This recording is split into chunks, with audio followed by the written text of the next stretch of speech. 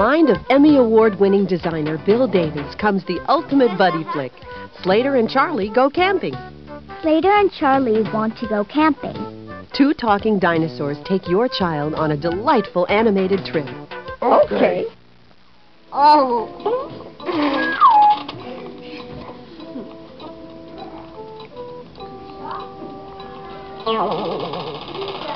Ah. Every page of this living children's book is filled with surprises. Charlie, Charlie, we can play ball, said Slater.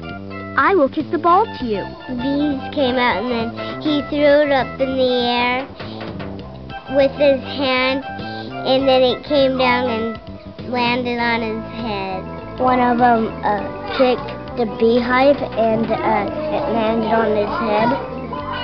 Because the, the fish comes up and, and spit at me.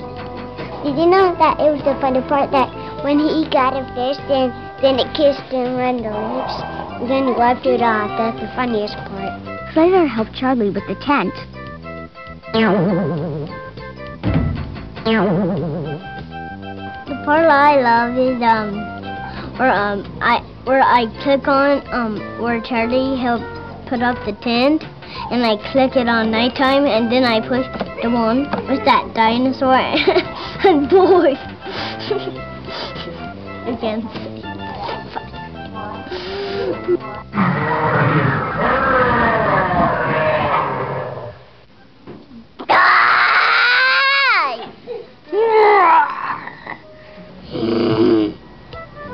Children can have the story read to them or pick out words and characters to make their own adventure come to life.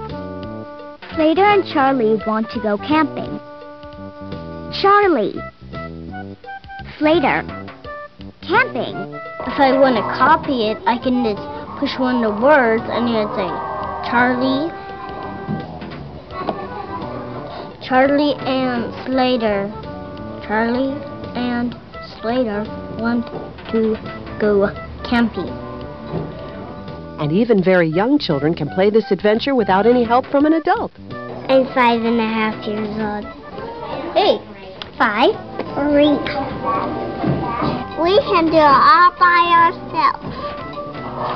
I can play this game all by myself. Head out into the wilderness with two buddies just waiting to make friends with your children. Okay.